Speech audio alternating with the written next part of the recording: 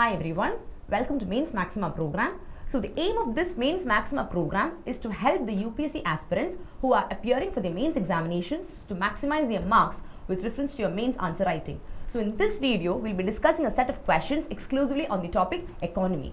So to begin with, the first question is post 2010, Indian economy has faced various challenges in the form of banking frauds and scams which has the potential to hamper the economic growth. So in this context, discuss the structural reforms that needs to be undertaken in order to make the Indian banking system more sustainable. So now we know that a lot of banking, banking fraud and scams has taken place in our banking sector, which has literally reduced the efficiency uh, and the functioning of our banking system, right? So now in this particular question, we are going to discuss about the certain structural reforms that need to be taken so as to make our Indian banking system more sustainable. So you can start your answer with an introduction guys as to we know that the banking okay that is intrinsically human centric in spite of you know all the evasion the increasing evasions of machine. And we know one of the most common problem which we face is the employees they are not adapted to the new technologies that has been used. As a result of which what happens? You know they are lacking you know knowledge in those technological aspects whereby a lot of frauderies and scams is also taking place. So you can start the introduction like that so in order to make the banking system bounce back, it will require us to focus more, you know, in, uh, in certain structural reforms. So why guys, why do we need certain structural reforms? Because of the problems that we're facing with reference to your banking sectors, right? There is a lack of, you know, technological aspects, then the lack of knowledge with respect to the employees, and also a lot of negligence by them, and the increase in frauderies and scams. So because of all these issues, we need to have a proper or a, you know, effective structural reforms in our banking system so that we'll be more efficient. So in this particular question, we are going to discuss about what structural reforms should be taken in order to make sure that our Indian banking system is more sustainable and structurized. Okay, so to begin with, the first point you can talk about is, so the first point is with reference to recruitment.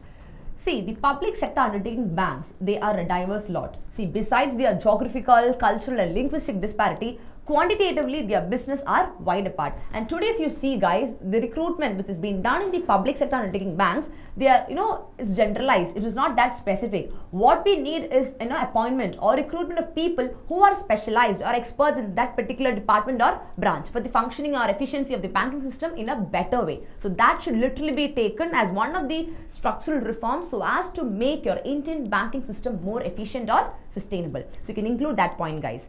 And now if you see some data, banks being special and need specialized talent as it has been observed globally. Okay. In contrast to this, if you see the specialist or the experts with reference to your public sector undertaking banks that constituted only a mere of say like 5 to uh, 8% of the total workforce and this was estimated by you know the KPMG that is the National Skill Development Corporation report. As per that data only, we could see that just you know a mere five to eight percent of total workforce only is being specialized uh, or the appointment is specialized with reference to the public sector undertaking banks. And that percentage itself is literally very low right? You can even mention that. So because of this only we need to be more focusing on appointing experts who are specialized in that particular uh, you know branch or field. Okay so this is one particular reform that you can focus on. So moving on to the next point we have remuneration. That is the number the wages or the salaries that we get so now as per the RBI data that is the Reserve Bank of India data the compound annual growth rate of per employee wages and salaries that was 13.7% from 2004-5 to 2010-11 that is literally decreased guys. That is decelerated to 6.4 6.4% from 2010-11 to 2016-17 from this itself, you can understand that the wages or salaries of the employees literally being decreased, which again is, you know, uh, constitute or it leads to an inefficiency in the bank system. When your salaries and wages are not up to the mark, definitely what happens, the output or the productivity or the efficiency of the employees decreases, right? That is a normal thing for the workers. So that is yet taken another important problem. For that, what we should do, therefore, instead of collective bargaining, the salaries of this public sector undertaking bank employees, guys, they need to be linked to the respective bank's ability to pay. Okay, with certain components of variable pay. Thus, the senior manage management they should also have employee stock ownership plans. All these things will enable you know uh, the process of remuneration to be better. That is yet another important solution that you can give for making your Indian banking system more structuredized. Okay, so the next point is with reference to reskilling. See, reskilling is very important, guys, because already the skilled people would have been employed, but we are not upgrading or improving their skill. As a result of which, again, what happens? It leads to certain flaws in the efficiency or functioning of your banking system. So now, if you see the 2014 RBI Committee on Capacity Building in banks and non-bank institutions, they made a lot of recommendations for what? For the development of talent pool or pipeline in banks on a buy and build basis. Why? So that it will enable them guys to keep a pace with the rapid technological advancements. Because these bank employees who have been employed they should they literally know how to make use of these new new technologies that has been coming in lieu with the banking process and operations. That is very important for them to function very efficiently. Because as i told you initially when we started the introduction though banking is uh, intrinsically you know human centric you have a lot of uh, you know increase in the innovation of machines. So they should be adaptable to working with those technological advancements so that the efficiency of banking uh, will increase. Okay Thus, the report needs to be implemented without delay.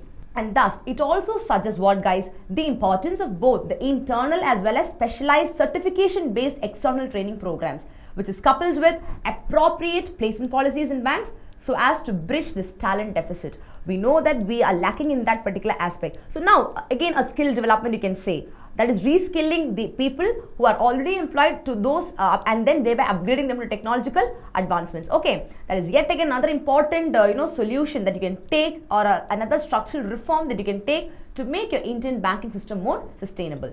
We know that research and development it is very very important for the growth and functioning of any organization right? So with respect to banking that must be recognized as a knowledge-based industry like your IT, that is information technology, where decisions necessitate, necessitate constant research and development that is r&d because when you have a research and development wing automatically they'll be focusing on all the areas which needs to be improved. Thereby you can provide constant or immediate solutions to all those problems so that you'll be able to you know overcome the flaws in a very immediate manner. If you see only a few large banks they have research units guys and which are by and large, you know, they're devoted to macroeconomic studies. So we have a huge number of banks and out of that only very few large banks are having a department called as R&D wing, that is your research and development wing and a research unit that must literally contribute what guys or priority should be given to the you know contributing to the prosperity of its own bank either directly or indirectly and then which will automatically lead to an efficiency in a systematic way. Thus this public sector undertaking bank leadership must embrace the knowledge and learning ecosystem.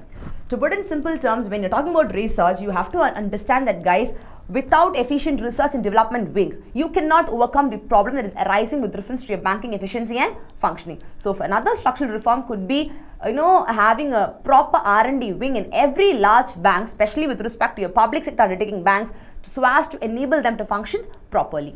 Thus, we have discussed a set of points in which, uh, you know, uh, what sort of structural reforms could be done in order to make your bank system more sustainable, especially the Indian banking system. So now we can conclude your answer by telling that human resource capabilities that have a strong correlation guys with the business results and if you take the case of public sector undertaking banks the time has literally come to move on from the episodic HR initiatives to connecting HR to the mainstream corporate strategy and thereby transformation agendas. To put in simple terms, what they're trying to say is that along with you know uh, this human capabilities what we have we need to be in lieu with the technological improvements that is taking place. So that when we keep ourselves updated when especially when the banking employees who are working there when they are keeping themselves very updated or when they are you know uh, meant for doing that particular job in the most efficient or advanced way automatically reform has been taking place right? And again, as whatever our points we discussed, if all these things are taken or implemented properly, definitely we can have a strong structural reforms thereby ensuring that there is a sustainability in the functioning of Indian banking system. So I hope you've clearly understood uh, this particular answer, which is talking about the structural reforms of Indian banking industry. And now, apart from this, guys, you can even uh, in introduction, uh, you can even include a point whereby recently the City Union Bank, okay, they faced a cyber uh, cyber security attack via, uh, via the SWIFT system. That is an example where you can give showing the inefficiency in the bank system. So now if you are having strong people or specialized or expert people in order to do the ethical hacking, definitely such kind of issues will not arise. Thus, if even if you see the uh, report, you know India ranks four with respect to cyber security breach. So this itself shows that there is a uh, there is a you know immediate or urgent need to recruit people who are so specialized and skilled with respect to these public sector undertaking banks, so that the efficiency will increase. We'll be more specialized, and all these hacking will not take place. So this is how we can conclude your answer. The next question is discuss the prospects and challenges of leather and textile industry for the Indian economy. And the previous year question paper also we had a question in connection with this. So this particular question is having a lot of importance. So now in this particular question, we are going to have a detailed discussion as to what are the prospects and also the issues or challenges with respect to the, you know, leather and textile industry, taking into consideration the Indian economy. So you can start your answer by talking about the need for India to generate more jobs, right? So now India needs to generate jobs which are very formal and also productive. Thereby it provides a bang for buck in terms of jobs which are created relative to your investment, thereby having what guys, the potential for a broader social transformation and we can also generally you know increase the exports and thereby growth. Only when the export of a country increases we know that it can lead to a huge higher economic growth. Because what are we doing in our country? There is more of import and less of export. That is why there is always a deficit in our BOP that is the balance of payment. And as a result of which the development is not too faster we know that right? And again employment issues. We do know that we have facing a lot of employment unemployment problems in our country right? And now focusing on the uh, question that is with respect to leather and footwear industries, if you see the apparel and the leather and footwear sectors, they may meet many or all of these criteria. We are going to talk about the prospects with reference to the uh, you know apparel and leather industry. Okay, that is textiles and leather industry.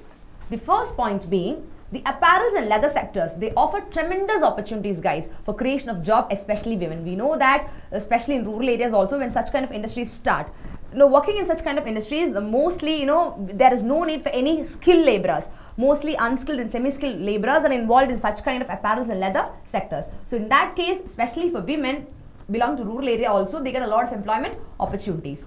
Then second point is you can talk about India has an opportunity to promote apparel, leather and footwear sectors. Why? Because the rising wage levels in China that has resulted in China stabilizing or losing market share in their products. You can even mention about that also. And moving on the next one, if you see, India is well positioned so as to take advantage of China's decreasing or deteriorating competitiveness, guys. Why?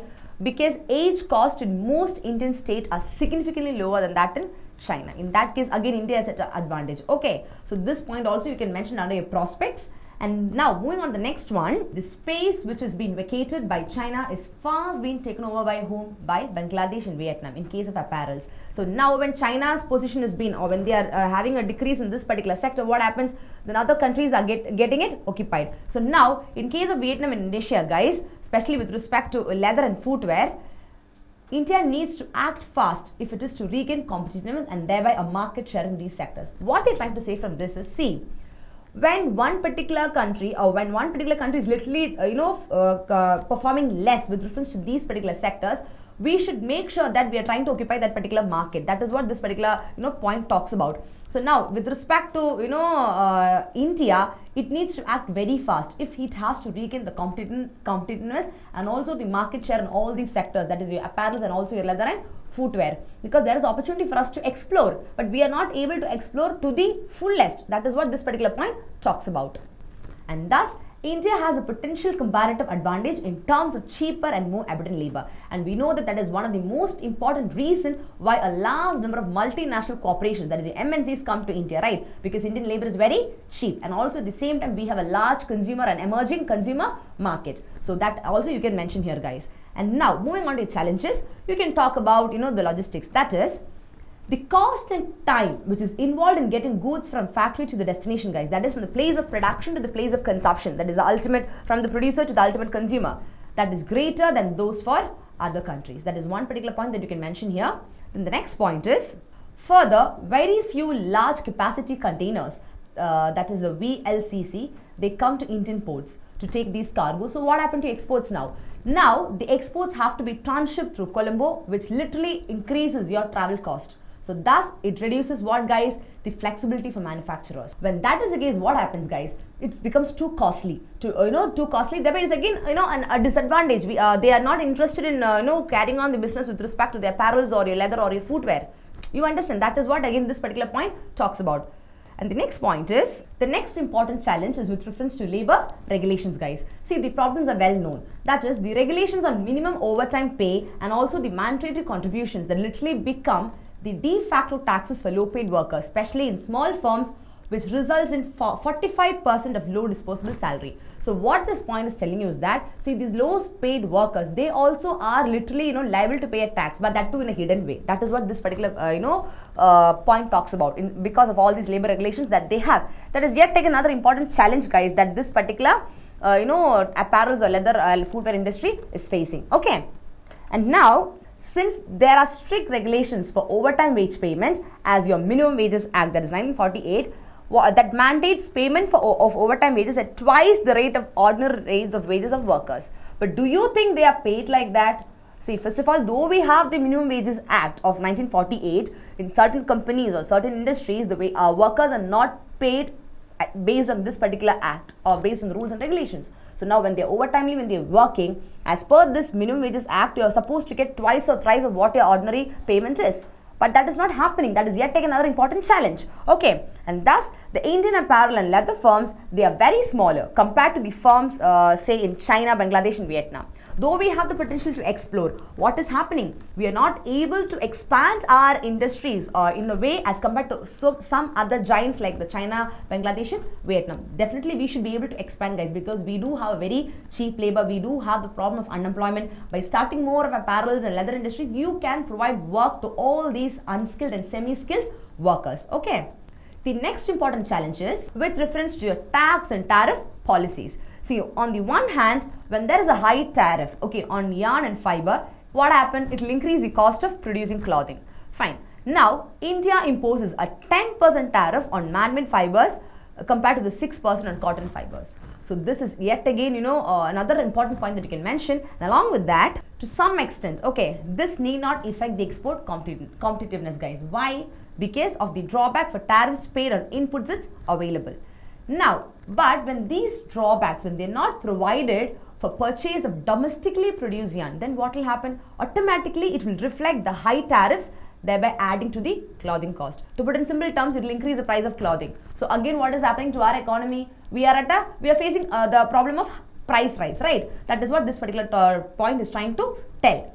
And now the next point is, see again, on the other hand, the domestic taxes that is also favoring the cotton based production rather than production based on man made fibers with a 7% tax on the former, that is your uh, cotton based production and 8 for 8.4% on the latter that is the man made fibers.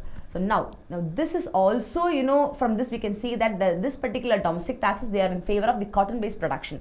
But in our uh, economy we know that most of the uh, things you know are uh, mostly this man-made fibers and people since they are uh, semi-skilled and unskilled we prefer this. But still what is happening to that? The tax rate is more on this and the next point is thus the global demand for footwear is shifting away from leather footwear towards non-leather footwear. See we know that guys this le- leathers it's a very costly uh, you know product or it is a thing which is adding to the status or symbol of people. But though this particular leather comes under your uh, you know Veblen effect which uh, talks about the conspicuous consumption because it's a product which gives you a status of uh, prestige literally in practicality if you see as far as india is concerned due to so many social and cultural constraints we are not you know that interested most of the people are not in the you know nature of buying or demanding more of leather products. Uh, so that is again because of as i told a lot of social and cultural constraints. So now what happens as i said it is again affecting our industry to a greater extent because when the demand is less what happens? Though you produce also you should the people should be willing to buy it right? That is also there. Uh, so that again you know uh, this is yet again another challenge that you can mention here. And again if you see guys traditionally india okay there has been export of leather footwear. Now its share of leather footwear exports in the world market is more than double the share of non-leather footwear.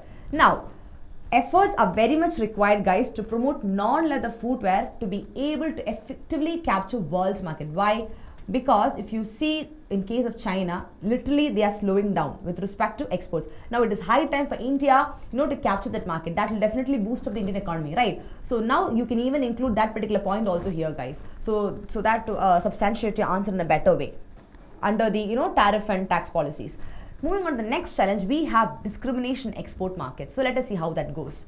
See, India's competitors, exporting nations uh, with respect to apparels and leather and footwear, they all always enjoy better market access by way of zero or at least you know say a lower tax tariff in two of the major importing markets namely the USA that is United States of America and the European Union.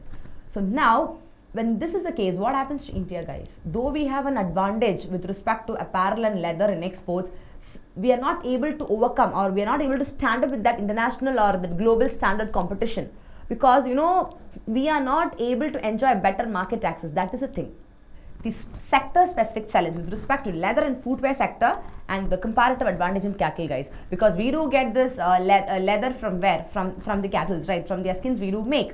So now that is why it is mentioned comparative advantage in cattle here. However despite having a large cattle population what happens to india's share of uh, cattle population guys? India's share of global cattle population and the export of cattle hides is literally low and declining okay so that when that is the case what happens? Again we are our uh, leather industry is at a stake. We are literally declining right? And now this trend it can be attributed to the limited availability of cattle for slaughter in india because of all your uh, cultural and social again all those constraints. The cattle which is available for slaughter is very very less in our country. Thereby what happened? It lead, leads to the loss of a potential comparative advantage due to underutilization of the you know evidently available natural resource. When you are not able to utilize the natural resource that you have in excess, what happens? Literally, it's a waste. It is not, either not giving us any profit, at the same time, it's not contributing anything uh, as a whole. So now this again is one of the most important challenges, guys, that our economy is facing.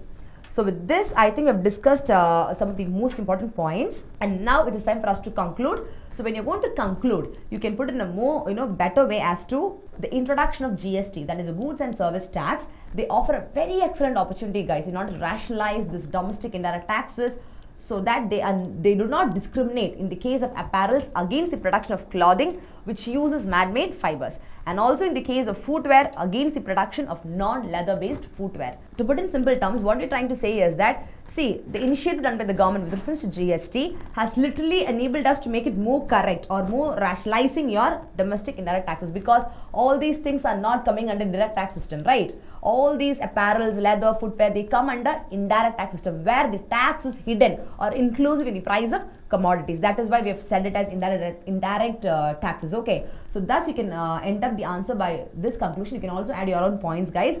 And uh, this is how you will, uh, you know, answer this particular question. And you can even expect the same question for your mains because already a similar kind of question was asked uh, previously and i hope this answer has literally helped you out in understanding with reference to the you know importance of apparel leather industry in indian economy so the next question is Indian economy is more formalized than before. So substantiates emphasizing the importance of formalization of Indian economy. So this particular question is talking about the importance of formalization with respect to our Indian economy. That is, there is a need for formalizing most of the sectors so as to make our Indian economy much, much better. So now, to begin with guys, as per your economic survey, okay, the, uh, based on that, uh, the informality, informality definition is given. So informality or rather formality of an organization can be decided by two main factors. What are they? The first one being social security provided by firms. And the second one is based on firms under tax net. That is which all firms are coming under the net of taxation. That is the basis in which this particular formality or informality is based on. Okay. Now, based on this particular criteria, according to economic survey, 87% of firms they are purely and 12% of firms are under tax net. But at the same time they do not come under the social security net and less than 0.1% are in social security net and not in tax net this particular data also you can include in your answer to provide your answer with the better statistics which will fetch your marks. So now if you see the Indian Economic Survey guys, it provides or it talks about how compelling is our economy towards formalization because that there has been an urgent need for that. So now this particular formalization, what we are talking here is due to four key shifts and based on the criteria that I've told you before, that is uh, based on social security provided by firms and based on the firms coming under tax net. So based on this particular criteria only we have even uh, you know explained with the, uh, the shift of formalization. Okay. First one being the introduction of GST that is goods and service taxes that has brought literally brought more firms into the tax net. That is very true guys. And now if you see the number of enterprises who are paying indirect taxes that has literally gone up. The number has shooted up by 3.4 million, thereby an increase of 50%. And that is again because of the introduction of GST by the government. So that is again from this word you understand a kind of shift to formalization is there, right? Because the transparency in your tax system. The second point we are going to talk about the demonetization, guys. That is one again another important reason for this shift. That is the demonetization decision which is taken by the uh, government on November 2016 that has led to a statistically significant or a drastically, I can tell you, a significant increase in the number of new income tax filers. That is to an extent, this particular demonetization has enabled us to, you know, to uh, get in all the black money because most of the black monies were converted to white money, right? At least to some extent, you could, you were able to achieve the objective of this particular concept of demonetization. That is a, yet again another important key shift of formalization. You can even include that point also, guys. And the third point that which we, which you can mention is there is a substantial increase in the coverage of welfare scheme. For example, the uh, Atal Pension Yojana. That is uh, all these, uh, you know, transfer payments or unilateral payments because it comes under your welfare uh, schemes. That is why they are called as, you know, transfer payments or unilateral payments. So now the uh, coverage of that is too huge. Uh, there has been a very much increase and people are getting benefit uh, out of all these social welfare schemes. And that is yet again uh, no, no, another important key shift showing towards formalization. And now, nearly if you see a third of uh, non-farm Indian workforce of 240 million has some social security coverage, guys. Again, you can even include this data to support your uh, third point. And then, more than half of the non-farm workforce, they are employed in firms and literally they now pay taxes. Which means that more of the people are coming under the tax net making it more transparent making it more uh, sensible for the government. And the government revenue is literally increasing. So that that can be contributed for the growth and development of a country in a better way. So that is the reason why we want to formalize the entire structure or entire Indian economy right? From informal sector. And the next important uh, shift uh, which we are talking here is the Indians are putting a greater proportion of their savings in the formal financial sector. That is very true, guys. And now, these bank deposits that swelled after demonetization. Literally you know people got uh, they didn't know what to do because when demonetization came they didn't know what to do with their money. Uh, uh, you know, somehow they were rushing up here and there. And finally after demonetization what happened guys? The deposits bank deposits uh, literally started increasing because of digitalization all these things. You know it, it was on the rise.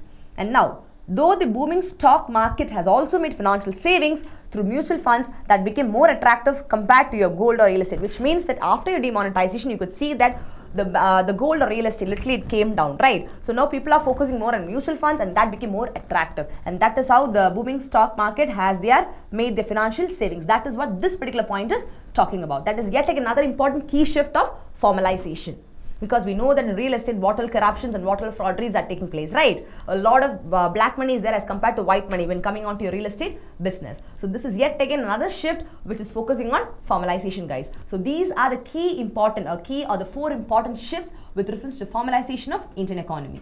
Now, we are going to talk about the advantages of formal sector, guys, because in this question, we are totally supporting formalization of Indian economy. So, it's very important for us to talk about the points which will support the formal sector. We should know why is this formal sector very, very important. So, now the next heading could be the advantages of formal sector. So, the first point is it helps in improving tax collection by bringing more transactions inside formal system. That is very true because we have seen the previous points where how did uh, more firms come under your tax net due to introduction of GST, right? That is your goods and service taxes. That first point uh, you can uh, link it with, with that. And the second point is this formal sector guys it reduced the incidence of black money yeah then again corruption red tapeism and also lessen legislation owing to well-defined structure now all these are simple points all what we have discussed you can even include this point and then the third point which you can talk as an advantage of the having a formal sector or formalization of Indian economy is that it will lead to better data collection like your GDP, growth rate, etc. That is perfectly true, guys, because whatever statistics we are getting with reference to gross domestic product, they, they are just numbers. They don't give us exactly what is the real value, right? Because of the existence of all these, you know, unorganized sectors. So now when formalization is taking place, what happened, guys? Everything has to be accounted. Everything will have, you know, take place in a very structured manner. So definitely a better uh, data collection with respect to GDP and growth rates will be available. That is yet another important advantage of formal sector. The next point being effective formulation and implementation of welfare scheme. We have discussed about the Atal uh, Pension Yojana where we, we could see that, right? It, though it's an old uh, scheme also, there was a lot of coverage, a substantial increase in that coverage of that welfare scheme was there. So now, because the formal sector, you know, a, a lot of, uh, impro- of programs or welfare schemes and other uh, th- things could be very effective in its formulation and implementation. You can even add that point. And then other point which you can talk here, guys, and the advantage of formal sector is increase the formal banking and financial inclusion. That is very true. And then it will also benefit the farmers, guys. How? By reducing the intermediary. That is, we're talking about the middlemen. Okay, or things will become more direct. Okay, so thus it will help them to realize better prices for the crops. When you do have a middleman, what happens, guys? The farmers are not able to get the real prices for the uh, uh, their crops or produce, right? Because they have to depend on this middleman uh, uh, for you know the prices of, of their produce. Whereby this middleman do a lot of fraudery, they do a lot of corruption in between. They really don't uh, give the farmers what they really owe okay so all these things you can overcome uh, if you have a formalization of uh, you know uh, these sectors. So these are the advantages or benefits of having a formal sector. Thereby it will benefit the indian economy to a greater extent. Apart from this also guys you can include so many other points as to the advantage of formal sector. But make sure that you're, you're including points giving importance to each sector. Make sure the points are not repetitive in nature. And again identifying the demand supply trend through forward or future markets and using it to reduce the industrial wastage through optimum or maximum utilization of resources guys that literally help the firms in making or improving their profits. Thereby what happens? Your supply chain is becoming more efficient. That also is one another way uh, you know or another benefit of formalizing your indian economy so these are the most important benefits or advantages guys of formalization of indian economy and finally after mentioning the advantages uh, you can directly go to the conclusion whereby you can talk about see in this era of digitalization and advanced technological advancement guys such as your e-payments, your e-governance, your e-national agriculture market, it can be inferred that what? A formal setup of markets will lead to what? The inclusiveness of all the stakeholders, which means that we do live in an era of total digital economy, right? Everything is digitalized, and economy is pushing uh, more and more. The government is pushing us more and more to be more digital. Even demonetization was also a you know a key part of that to make the economy more digitalized, to make sure that every transaction is accounted, it is more transparent. So you can include all these points in your conclusion, and thus when you're doing that, what will happen? It increase the it will increase the ease of or comfortability of doing your business, thereby improving your business index, and also it will channelize or direct your country towards development. So this is how you can conclude your answer in a better way. So I hope you've clearly understood all the questions that you've discussed uh, here. And this is the way you have to approach your answers with respect to the questions that we have discussed. Thank you.